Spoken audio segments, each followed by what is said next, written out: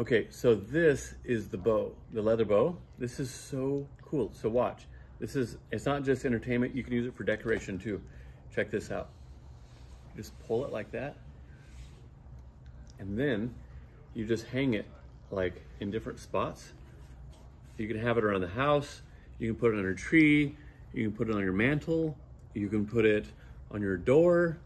Uh, you can wear it as a boutonniere at like Christmas parties, and everyone go, "That's so pretty. That's so cool.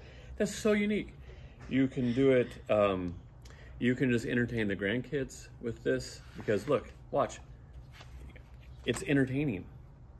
So you grab these two back here, the back two strips, and then you go like this. You just pull. Look, it just comes together. This is awesome. This is the leather bow. Everyone needs to have it. And you know what else? When you're storing it, any other leather bow you have and you want to store, it's going to get crushed. And then the next year you're kind of trying to get it out. This, you just store it like this. You can store 10 of them. So these are best in sets of three. So like on the mantle, one on each end and the one in the middle kind of hanging down uh, with the stockings. These are beautiful. So don't, uh, don't pass this by. You will, you know what? In 10 years, you'll never say, man, I regret getting that leather bow. It's nothing you'll ever regret about this. This is one of those regret-free decisions that you make and it's a leather bow. Now there are things that I have regrets about and I think, why did I say that? I shouldn't have said that or I shouldn't have done that. This is not one of them.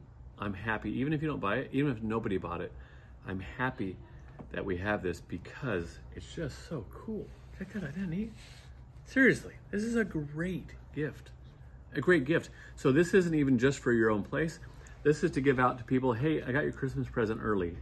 And uh, here you go. Pull the little cords like that and just tell me what you think. And seriously, you do that, you give this out to people so they can decorate their home and they're gonna have a decoration that they carry and use um, for years and years and years and they're gonna think of you every time. So this is the perfect before Christmas gift that is their Christmas gift.